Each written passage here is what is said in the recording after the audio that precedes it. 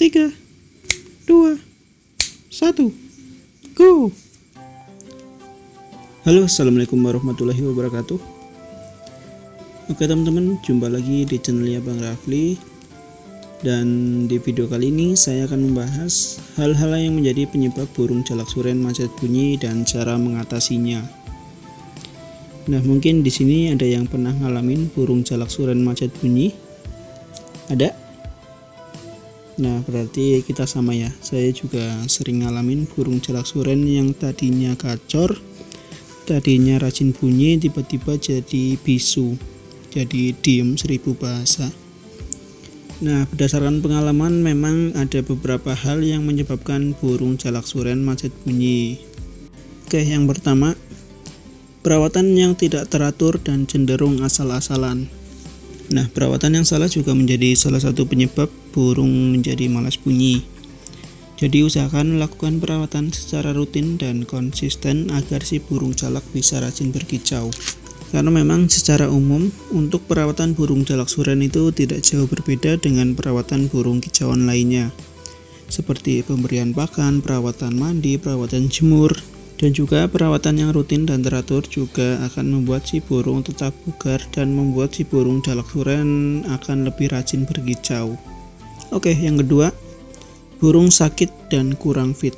Nah, jika burung jalak suren sudah mengalami sakit atau sudah terserang penyakit, memang akan sangat berdampak besar pada kicauannya. Karena memang untuk burung yang sedang sakit itu biasanya akan lebih banyak diam dan juga jarang berkicau. Jadi usahakan jika burung jalak suren itu sudah terlanjur sakit, kalian bisa berikan obat yang banyak dijual di toko burung. Sesuaikan juga dengan penyakit yang diderita oleh burung jalak suren itu sendiri. Dan juga kalian bisa berikan vitamin yang bertujuan untuk menjaga stamina dan kondisi si burung agar tetap bugar dan juga tetap fit, oke? Okay? Oke, okay, yang ketiga, sangkar tidak pernah dibersihkan. Nah, mungkin yang nomor tiga ini sering dianggap remeh ya oleh para sebagian kicau mania. Padahal menjaga kebersihan sangkar burung itu termasuk bagian terpenting dalam pola perawatan harian burung jalak suren. Karena jika sangkar kotor dan juga tidak pernah dibersihkan, itu akan membuat si burung merasa tidak nyaman dan akhirnya macet bunyi.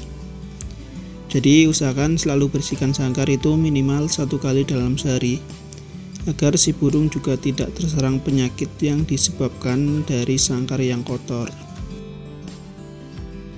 Oke, yang keempat, burung stres akibat gangguan dari hewan predator. Nah, untuk burung-burung yang stres atau kalah mental akibat dari gangguan hewan predator seperti kucing, ular, tikus, dan lain sebagainya, memang tidak bisa dilakukan secara instan karena semuanya juga butuh waktu, butuh proses dan juga butuh pola perawatan yang tepat.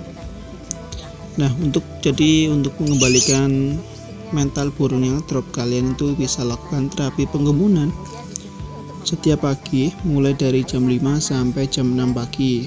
Dan juga usahakan untuk tempat kantang sangkar burung itu ditempatkan di tempat yang tenang dan juga aman dari gangguan hewan-hewan predator. Oke, yang kelima, burung sedang mabung atau ngurak. Nah, untuk burung jalak suren yang sedang mabung memang biasanya akan lebih banyak diam ketimbang berkicau. Hal ini wajar ya, karena burung jalak suren itu membutuhkan lebih banyak energi untuk merampungkan proses mabungnya, mulai dari perontakan bulu sampai tumbuhnya bulu-bulu yang baru. Nah, usahakan pada saat burung mapung itu kalian juga harus perhatikan dalam perawatan agar si burung pada saat selesai mapung nanti bisa gacor kembali. Nah, mungkin itulah beberapa tips mengatasi burung jalak suren yang macet bunyi. Semoga bermanfaat dan wassalamualaikum warahmatullahi wabarakatuh.